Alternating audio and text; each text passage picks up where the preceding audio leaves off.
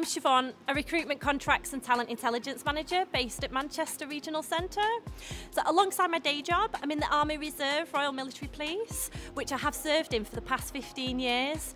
It was here I learnt skills as a trainer and a mentor, and it's where I've developed my leadership and my management skills. Then, in 2020, after having my daughter, I became an operational trainer for Border Force before taking the leap to join the Civil Service HR Fast Stream programme, which is where I landed in the talent acquisition team here at HMRC. Now, I'll be honest, I had zero experience in this field or anything relating to data, analysis, reporting, risk of procurement. It was obviously quite a steep learning curve and a challenge, but I absolutely loved it. I found passion for data analysis, research and problem solving and was given the freedom to explore how this could be better utilised within the team.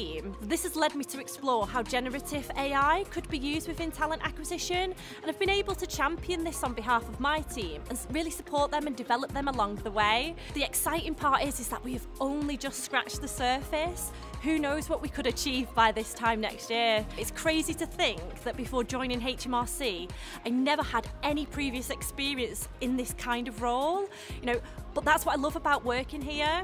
If you're passionate about something and willing to work hard, then the opportunities are endless.